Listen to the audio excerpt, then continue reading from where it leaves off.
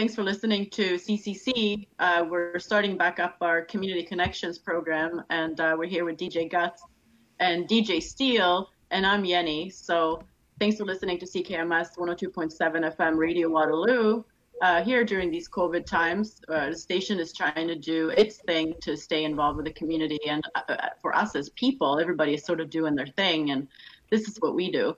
And so Rob has been with the station, DJ Steele's been with the station for many years. And I just mentioned earlier, I know DJ Guts is fairly new on board now, but uh, uh, I know there's uh, got a, a lot oh, of knowledge. I, have I've heard of the great uh, DJ Steele.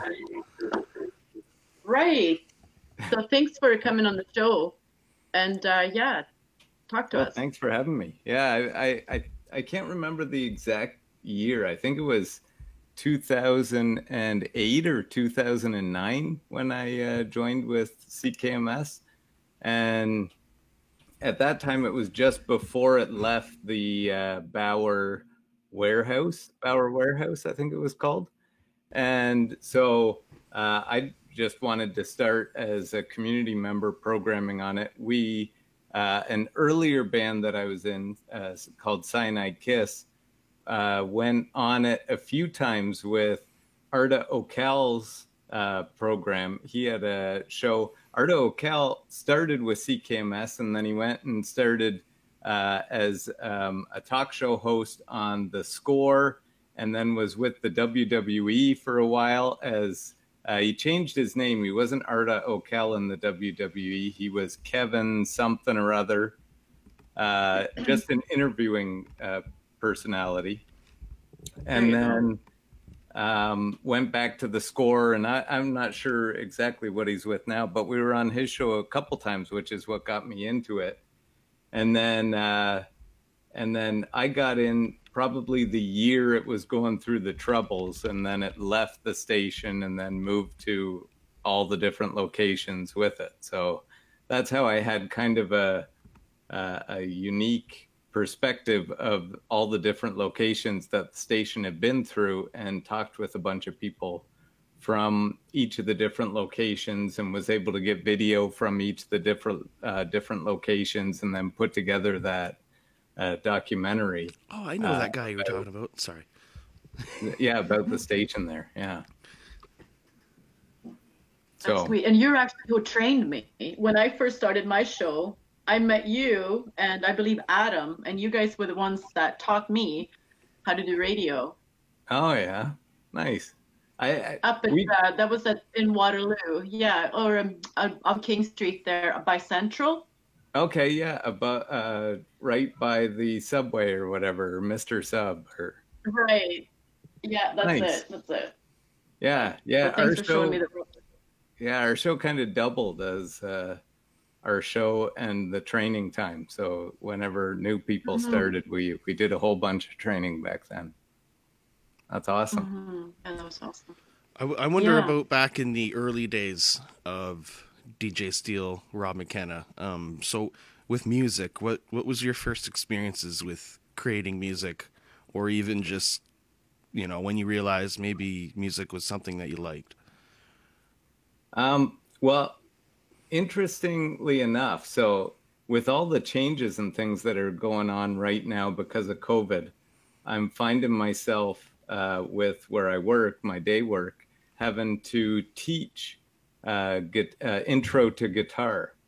And uh, so it, I was thinking a lot about way back when I was uh, in in high school and took intro to guitar. That was probably my first introduction to music and uh, I took it with a friend of mine, and we would just like it was a lot of practice time where you would sit and practice and and play, learn songs and things like that.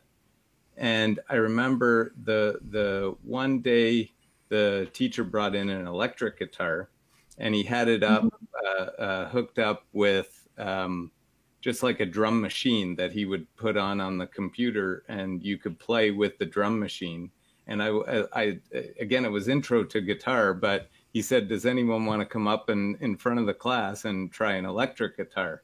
And nobody wanted to, but I thought, "Yeah, what the heck? I'll try it." So I went up. You can handle the power. It, yeah, right. it, it, given the opportunity, I got to try it out. So.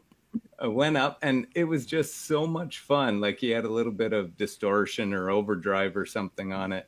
And I didn't know what I was doing, but it, it exactly like what you said, it, it was just so much power. Like you, you, would just play that and it was so loud and everything. And, and uh, mm-hmm.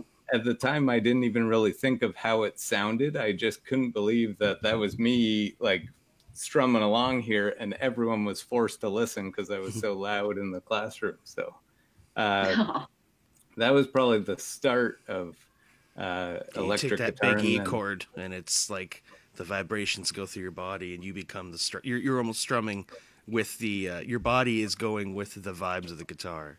You are yeah. you are a part of that. You become one instrument almost. It, it it's something like that. Like so many artists will say that they just absolutely love performing live. And I think it's something to do with that. Like people will even ask, like, we'll, we'll play a show or whatever, and they say, well, what, like, if you just love music so much, why don't you just create it? Why do you have to perform it in front of people? Or, like, why don't you just jam in, in your basement and play it? Uh, and yeah, I don't know what it is, but it's something with being in front of people and there's like a little bit of nerves and a, a little bit of uh, like that connection that maybe sometimes you do something and it, it connects with people and, and I, I, don't know exactly i can't put my finger on exactly what it is but just something about that is is really uh, intriguing i think to a lot of people and that's why they do it so when was the first time you got? To, what was your first instrument? What was your first guitar? Um, I think I still have it probably hanging somewhere back there. Um, I don't know if it can be seen. Uh, no, I think it's somewhere in the corner. Okay. But uh, it was just oh, there goes my. It was just a a, a cheap guitar, uh, kind of like a Strat imitation, a Sunburst Strat imitation that I got, and uh, I think it was after I took the guitar class and liked it so much. Uh, my parents got me that for Christmas the one year. Nice, nice, best Christmas present ever. Yeah, yeah. When was your first time where you were experiencing with recording some of your jams? What what got you into the the production process of things? Okay, so um, I I uh, after I played guitar a little bit, I it, it, it's weird because I, I there different musicians will say that they write differently, and if you look at some musicians, uh, they have a harder time writing and they really work at it uh, a lot, and um, like there are some great musicians who only have like one album. And but they put so much work into that one album and it's amazing and then there's other musicians who just write like they're prolific writers and they just are writing music all the time. And right away i felt uh, i felt like a lot of the a, a, lot of music was coming to me. And, and i wasn't super great but I, I was getting these ideas and so i was playing a whole bunch. And i was worried i remember being worried that i would not be able to record it and get these ideas down because it's easy to forget. You play out a riff and it's easy to forget how to um, how to play it or the strumming or the rhythm or whatever. And um, so I would I would practice these couple songs that I wrote uh, uh, quite a bit. And then when I when I was done high school, uh, my brother start ended up buying a drum kit and together we started putting together a whole little home recording studio but it ran through like a tape player with a computer attached and cool. uh, it was it was the worst home recording studio ever uh, but it but it worked but it, yeah but it worked like yeah. it got some ideas down onto a tape cassette and then we could remember these ideas and then uh, a couple friends of mine uh, dj uh, adrock and another friend of mine. Um, they all wanted to be a part of a band too, so we we started playing in Hamilton a whole bunch, and then uh, a few people at um, I can't remember what the recording studio is now. Uh, but they heard like they just heard us play like because they were always at this venue called the Underground, and they heard us play, and then they asked if we wanted to record with them, and so uh, and pay them obviously, but they asked us if we wanted to record with them. So uh, we together we put together the money and went in and recorded, and their stuff was so unbelievable. Like they had like super professional stuff, and uh, the the guy Robin Abe um, was showing me and teaching me all through it. And so after that, the the whole weekend, I don't know, ended up costing us like three thousand dollars or something like that. And so in the future, I I thought like That's instead of spending that on recording one album, like maybe I could slowly over time put together uh, like money and technology to to build that so that we can get better recording ourselves and just work uh, like do what we can for this album and then for the next album. When if we have a little bit more money we'll put that into a little bit more tech and then build up kind of this library. So like kind of the things that you see behind me i didn't yeah, get all at once. these are years and years of collecting so. So you kind of took the the reins. You said i'm gonna i'm gonna control my destiny and I'm going to make sure that I have the I have the comfortable position to to expand on your own terms basically. Yeah, the the so the first album which for Cyanide Kiss it's definitely the best sounding album because it was a professional recording studio. Uh, the the second one, it sounds all right for what it is, which is completely learning how to record everything. Like uh, it, it definitely sounds like we started strong and then dropped a level, but uh, then each one after it's like progressing from that one with learning how to record and mix and master and all these different parts that uh, and, and, even just learning it like i remember watching uh, a youtube video with mastering and the guy was saying, okay, so now what I'm going to do is I'm going to apply this compression to the overall uh, sound here. And he would he would apply the compression, and he's like, "See how much better that sounds." And I'd be think, listening, thinking, "I don't I don't hear anything different." so, right, you, you almost have to tune your ears for what exactly what it's doing because, uh, like the mastering stage is so uh, uh it, you're not you're almost not listening to the overall sound, um, mm. but you're listening to when when they say the shape of each of the instruments. Uh, like if you listen to a track, you just hear the overall sound of it.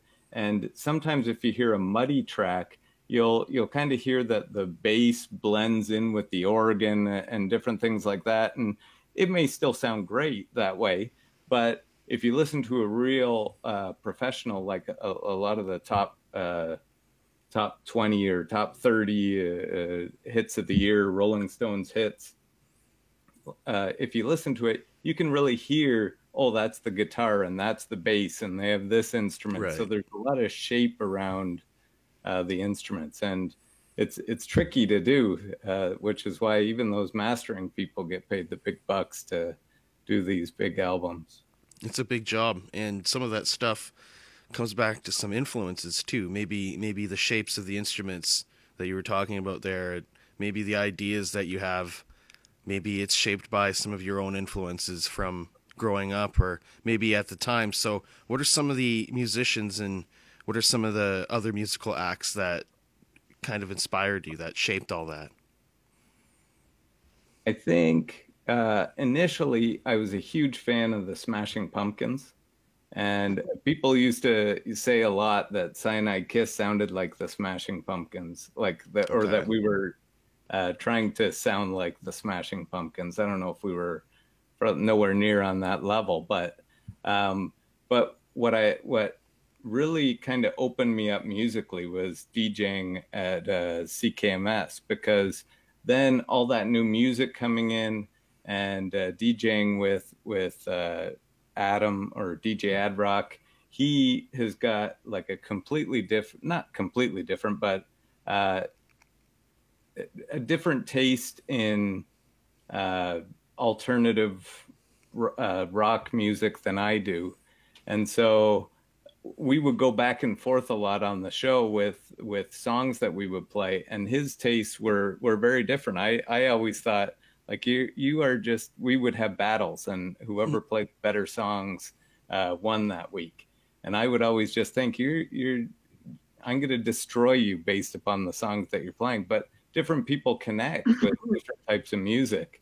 And so it, a lot of the times he would win. So and, and, so people connected with that different type of music. And it it really opened my eyes to a lot of different canadian music especially. And so it made me appreciate all these different canadian bands and i got into a lot more different types of music. Okay. And like uh the the the stuff that you're working on now because i'm fairly new to your bands like robot Apocalypse and All Weather Haulage. I was just listening to to the show, and it's amazing. Like I want a T-shirt, definitely. Uh, like I just can't believe what you created. It's amazing. Like this is congratulations. So you have some amazing collaborations too. On the one, there's violinists, right? And so, what have you accomplished? Like Smashing Pumpkins to where you're at now. That's uh, like it's like a universe of of growth and experience. Yeah, so a lot of uh, a lot of the collaborators, like uh, once I started programming and appreciating all these other bands, um, and Cyanide Kiss had broken up, we got the idea for this. Uh, uh, we were making an audio comic for CKMS, and at the we uh, had a grant from the city of Waterloo and the city of Kitchener and we had some money left over, and so we thought maybe in the second season we'll uh, record some of our own uh, music and then get collaborators to uh, to collaborate upon those songs with us. And maybe we could like if we could get somebody like we, we were uh, hot hot heat fans as well and so we thought if we could get someone like steve bays to record with us that would be like unbelievable he, he's toured all over the world as like a, a famous Canadian uh, uh, musician, and so um, we approached him. And we like we've done an interview with him, and, and we've seen a bunch of his bands play. And he was like, "Yeah, sure, I'll do it." And so he recorded with us, and then uh, we were all like super excited about that and we thought well maybe let's ask the one of the guys at 5440 and the thing is, we thought, well, we'll ask them, and if they say no, well, then we're no worse off than before. Mm-hmm. We'll just ask somebody else. Mm-hmm. And more and more people started saying, yeah, yeah, sure, we'll we'll do that. And so it just kept building, and then we put together, I think, four tracks, uh, four or five tracks for that uh, season of um, the electrifying adventures of yeah, that's right oh yeah Jeffy you were Jeff. in it. yes there is there is and it almost looks uh, exactly how I uh, my attire is now the character uh, in in the the series there for the people out there I believe that's on radiowaterloo.ca if you search in there up on the search bar yeah. you should be able to pull that up from a couple years that that was already four or five years ago maybe yeah, I think the first season um, we started recording in 2014 and maybe released it. No, I think we did it in 2015, mm-hmm. and then the second season in maybe 2017. I could be wrong, but something like that. Mm-hmm. Yep. Yeah, yeah that was pretty cool. Original content produced by someone at CKMS. It's pretty unique stuff. Um, and uh, I had suggested I think that there are some talk about there being some radio plays or something like that in the future on CKMS, and it'd be cool to bring out dust off the old electrifying adventure series, um, especially considering that. So basically, that's just the early days of Robot Apocalypse. Yeah, that's what got it going, and then we just started like speaking of influences, we just started thinking these are the bands that we like. Let's ask them if they'll collaborate with us. And so, like, there are ones that don't reply because they're so huge that they probably get so many messages like that mm-hmm. and they just uh, brush it off.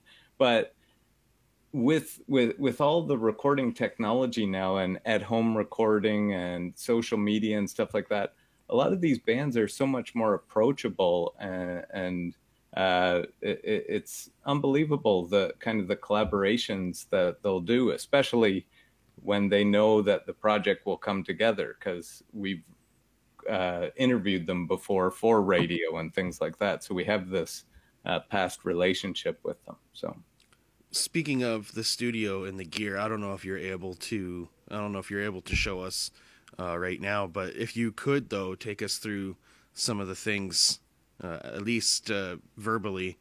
What are what are what's some of the gear that you got? What what's some of the technology that you're speaking of here? Um, so for for recording the what we what I started out recording on, I can probably grab it. Sure. Yeah, it gives more time for people to look at all the cool stuff. I like the custom guitar there and the the background. Oh yeah, that blue, very sharp. It looks like it could stab somebody if you're not looking around properly. Do you bring that to live gigs? And did someone get? Did someone ever walk into that and poke an eye out? No, I, I used to play with that one for a while, and um, uh, in Cyanide Kiss, and it, it but it's just it's such a harsh sounding guitar. It's it's okay. a Japanese Hondo guitar, and it's I, I it's so twangy when when you play it that uh, but it looks so cool that right. I even had someone from another band offer me 400 bucks on the spot to buy it off me just because wow. it looks so cool. Right. Uh, but I, I didn't want to sell it. So um, yeah, yeah that one right there. That one I used for Cyanide Kiss, and then eventually um, I have like a, a Paul Stanley Kiss guitar that uh, I I thought it was kind of funny that it was a Kiss guitar, and then I would use it for Cyanide Kiss. So okay. uh, that is the main one that I use for Cyanide Kiss because it was like super deep uh, and super low tone. So um, we had a, a keyboardist doing all the lead and then I would uh, use that, and kind of me and uh, Adam would be the bass, and we'd kind of go to get fit together and let the keys do the lead in that project. The uh, the custom guitar there is one that I built uh, for Robot Apocalypse. That one, it's got two separate pickups and two separate outputs. So the one I I probably should try and patent this or something, but I, I thought it was pretty cool. Um, so when Cyanide Kiss broke up, uh, it broke up because Adam had lots going on, so he left. And so I thought, well, how are we going to have bass uh, if he's gone and, and, the three of us are still playing? So uh, in that guitar, I built it so that the top two or the top pickup only picks up the top three strings and it sends it through one output, which I then whammy down a full octave so that it sounds like a bass. And then the bottom pickup picks up all of the strings and sends it out a different uh, pick or output. And then I run that through a guitar okay. effects pedal. And then that keeps it at the regular octave so that I have a, a bass playing with the guitar all in the one instrument. Interesting. Hey, that, that's pretty cool. Maybe you should look into paying into that for a patent. Yeah, like I, I, I don't know what's involved, but all these yeah. like white stripes, then they got a bass Something and yeah. a, a, guitar all in one right there. So, so that's kind of like a Stratocaster esque. I, I can see the headstock isn't the the trademark Fender, but I, I can tell it has that. Uh, when you mention whammy down, you, are able to like whammy bar it down, uh, hack no. it kind of, or or is there an effect that you could use for that?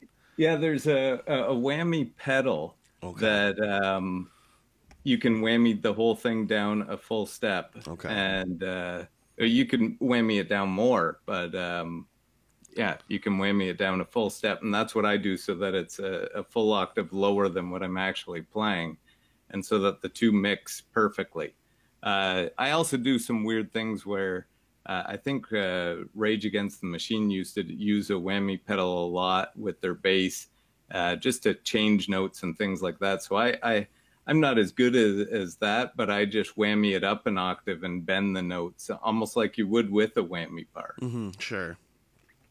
So you That's so and you even got some cool concert posters behind it. So that's kind of almost like um, not a shrine, but definitely a uh, that is a cool little little nook for uh, for collecting stuff. As a as a collector too, I, I, I definitely appreciate that. Yeah, so a lot of them are. Um, I'm just looking. Oh, I even have down in the corner. It's I don't know if you can see it. Nah, not really. It's down below the acoustic guitar. There is the uh, CKMS. What, what was that one? Oh, that was. Oh, I see a C- I see a flower the- in there. yeah, it was the uh, CKMS New Frequency Party at Okay. the Boathouse.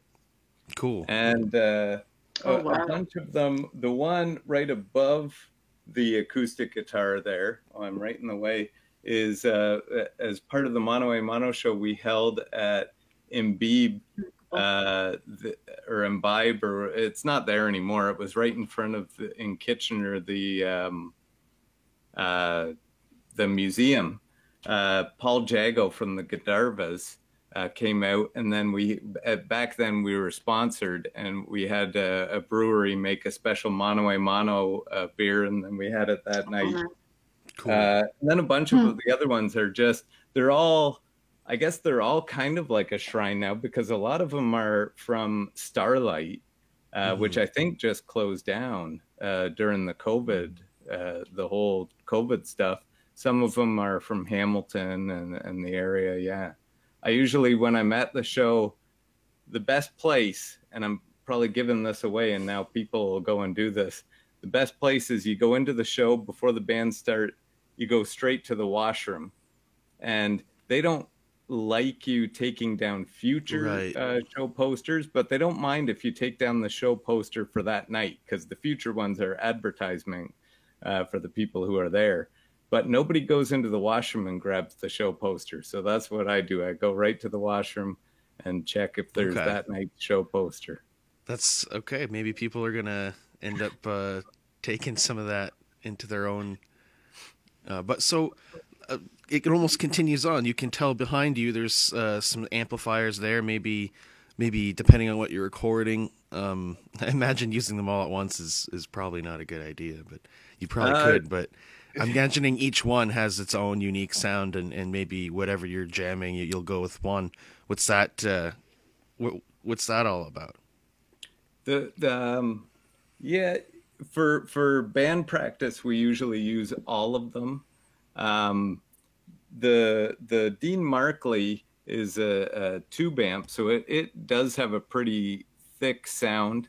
Uh, but lately I've been using this uh, Cordovox over here that it, it's actually when I was filming the ro- uh, the uh, Radio Waterloo documentary, I went to the uh, location on Waterloo Street, uh, the one that was like on the second floor of that place.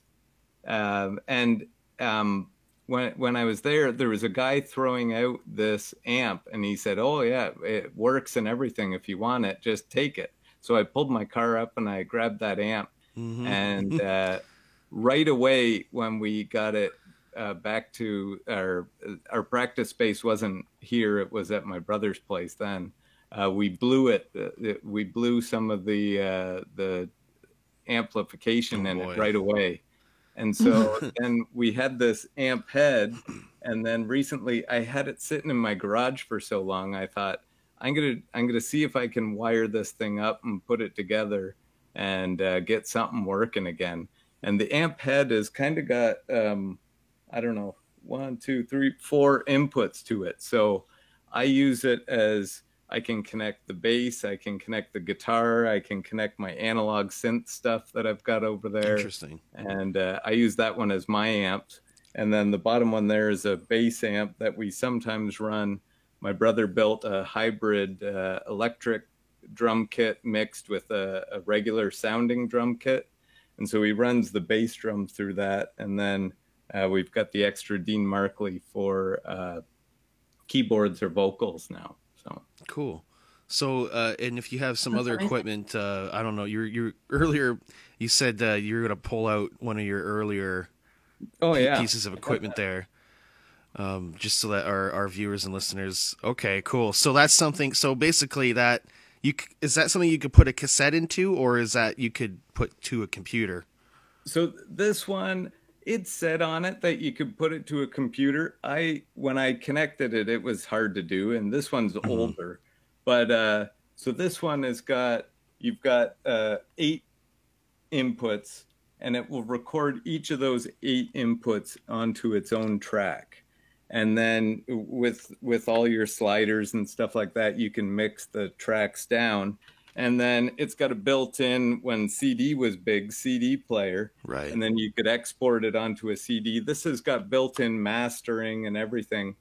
When I bought this, this thing was I bought this a long, long time ago, and this thing was really expensive. Mm-hmm. Now you mm-hmm. can find this exact thing like on Kijiji or something for I don't know five hundred or right, which is still that's still pretty good for yeah. For something it, old. It, Not like it's going for like 25 bucks or anything like that. No, but if you want, like, there are smaller ones too, but at the mm-hmm. time, we wanted as, like, we needed as many tracks uh, for recording as we could. And we were even cheating at the time. Like, we had, I'm just going to put that down. We had uh, my brother playing a fully electronic kit. And the first album like at, at the time we were recording it we thought it sounded amazing but a fully electronic kit sounds really fake in a recording. So that's when he started uh, building it into a hybrid kit so that you when you're playing you can hear some of the room in with the mix and things like that. So we've been learning as we go. And so i just have um, I, it can kind of be seen over there. It's pretty much this thing, but uh, newer. Mm-hmm. Uh, I can hold it up. Which is so something like that would be used to. Okay. Oh, nice. Yeah. And then, so basically, for people that are watching, like everything would go through there, and then I'm guessing that would go to your computer, and then you would have uh, some software running that would record it, or you could. I don't know if you would use GarageBand or uh, Pro Studio or something like that. But that, I guess that could be an option. Um, that, that is a pretty nifty high tech gadget there. Yeah. So so though that recorder, I don't know. This is an older webcam. It does that sometimes. Um, that recorder there is um, uh, it, it's pretty much that it can handle eight simultaneously and it uh, records to an SD card. So you can take that out and you can okay, just throw cool. it in your computer and then you can uh, import all the tracks. I have used GarageBand a little bit, uh, but something like the track that I sent you guys with all the um, with with all those instruments, we had a quartet. So there were uh, four four uh, string members. Uh, yeah, the Raptors lose. That was that was really cool. Oh, thanks. Yeah, the yeah. Mm-hmm. So there were four string members: me on bass, uh, Matt on guitar or on uh, synthesizer, and then my brother on drums. And he had a bunch of uh, drum uh, mics set up. And so with that, because GarageBand only allows you, I think it's 16 tracks, we recorded it in two parts, and so we had all those tracks and then on the same song the ending where it comes back in we actually recorded that separate. It isn't one flowing song. Uh, and the, so it would have been way too many. So i actually do some recording on uh, audacity. Uh, okay. no not audacity audition. Audition, Sorry, audition. Yep. yeah. Both are good. Audition a little bit more. I prefer audition myself. I use audition as well.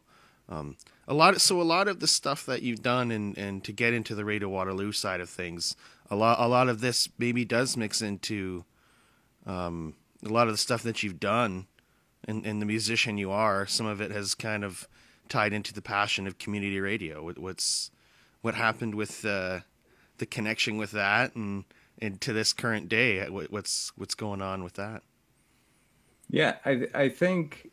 Um after Cyanide Kiss kind of stopped playing, then I got into community radio, found out about all these uh, different bands and things like that.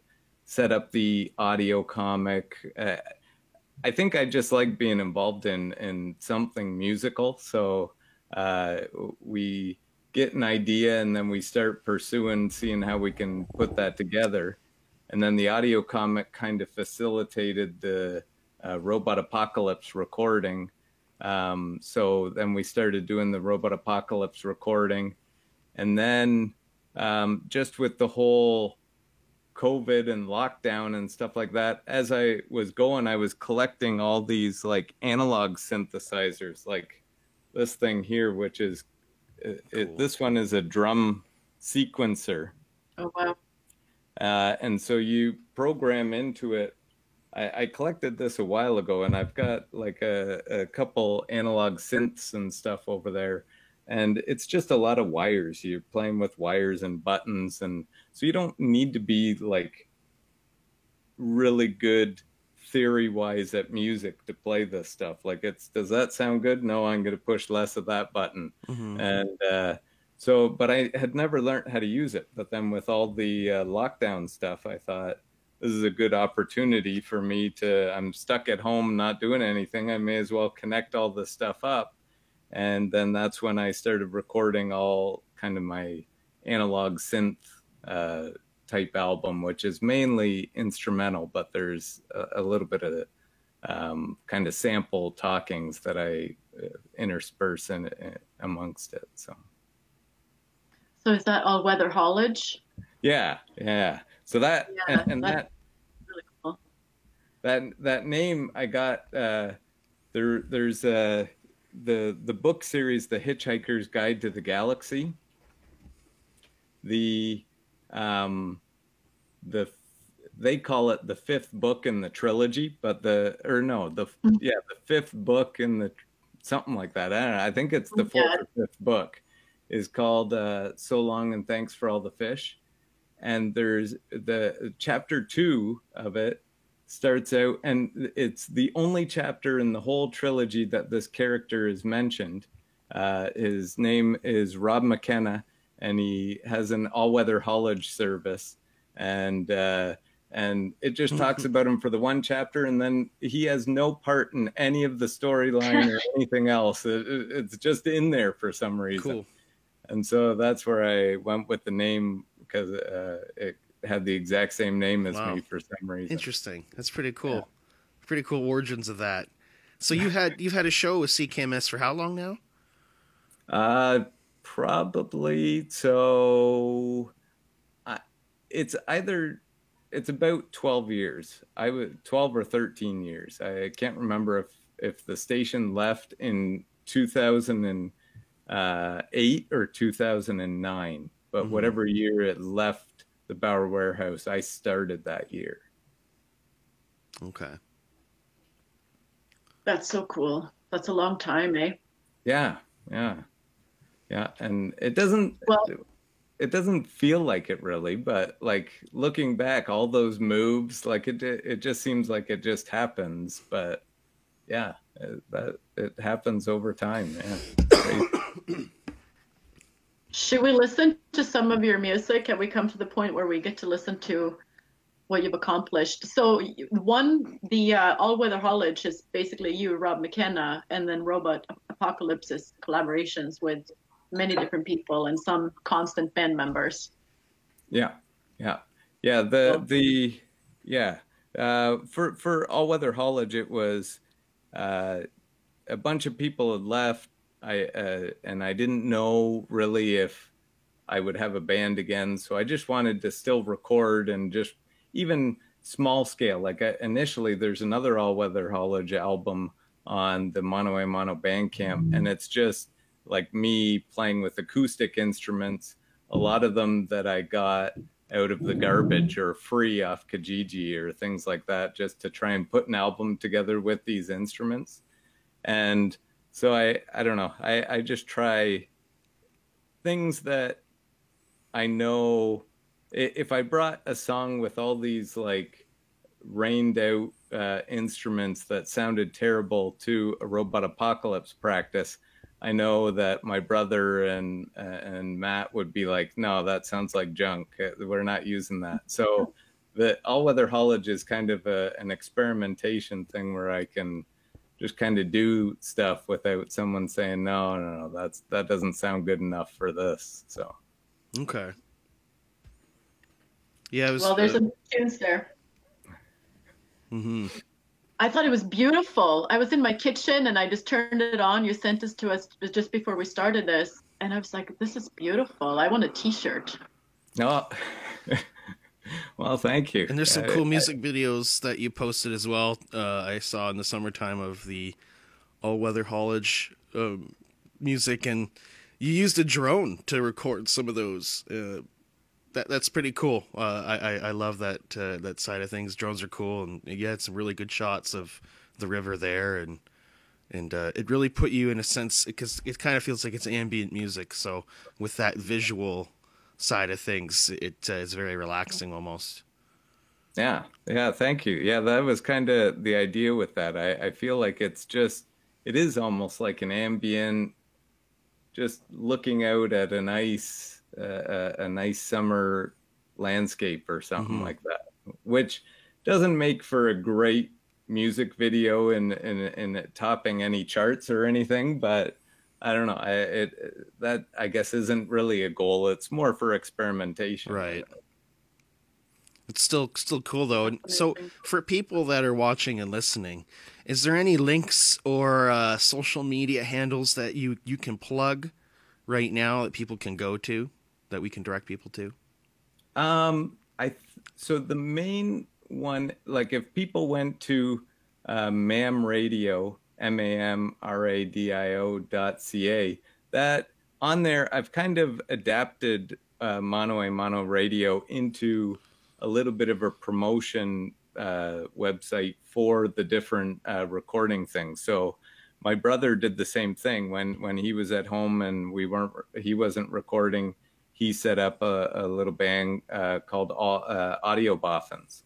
So um, and then he gets me to master some of it and and put it on that Bandcamp. So there's audio boffins, there's old cyanide kiss on there. Um, he went and recorded an album in an old, um, uh, like an old cottage in somewhere in Montreal or something. Uh, uh, and so that he's got another little group with his friends called uh, Green Tree Frogs and then it's got Robot Apocalypse and some all weather haulage on there as well. Okay, cool. And I think RadioWaterloo.ca also has, if you just search any one of those, basically, something you'll you'll probably get something that'll come up. Probably, yeah. We I, I play myself every so often, so I'm sure I put some stuff up there. Mm-hmm. Yeah. Is there so uh, Facebook or Twitter? Is there a, a place on social media that people can go like? Um, there is a Mono robot Mono's apocalypse. page too as well. Yeah, there's a robot apocalypse Facebook page, and I think there's Instagram pages. Instagram, yeah, mm. I follow you guys there. Okay, yeah. so good places for people if they would like to follow and. Um, also, you know, be, before we wrap this up here, just in the next minute or so, um, I'd like to thank Rob McKenna again. Um, we feel like we just barely scratched the surface, so I'm sure we'll have you on again down the road. Well, thanks for having me. This was fun showing mm-hmm. off all, all my gear here. I haven't done that in a while. Yeah, hopefully we could do a jam maybe down the road when things are obviously better and uh, a jam. But to, I want to understand the recording process myself, so to physically do it, to, to learn it and show it, and that'd be that'd be something cool like a Radio Waterloo jam. Yeah, I, I, actually you saying that reminds me I should have been interviewing you guys for some of this because you guys are performing members of the Robot mm-hmm. Apocalypse. yeah, yes. so check that out on yeah, the internet. It's it's up. that was a lot of fun. Yes, experimenting with music is awesome. Yeah, yeah, and was inviting fun. members of the audience. Yeah, that was cool. It's a good. It was yeah, we'll pretty have to good. do one of those again. Yeah, that was super fun. All right, uh, thank you again, Rob. All right. Thank you, guys. Thank you.